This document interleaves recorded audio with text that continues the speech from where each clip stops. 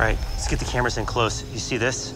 Lena just spotted this stick insect. Besides its incredible appearance, I'm already amazed by its three unique defense mechanisms. The first one's pretty obvious, master of camouflage. Number two, it is super spiky.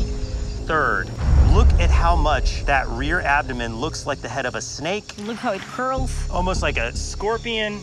That is a false head, so a would-be predator would actually go after the wrong side, giving it one last chance of escape.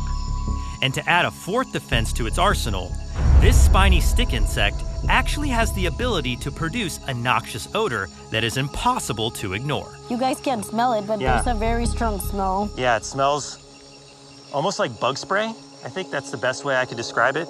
A very unique smell, not a smell I've ever encountered before.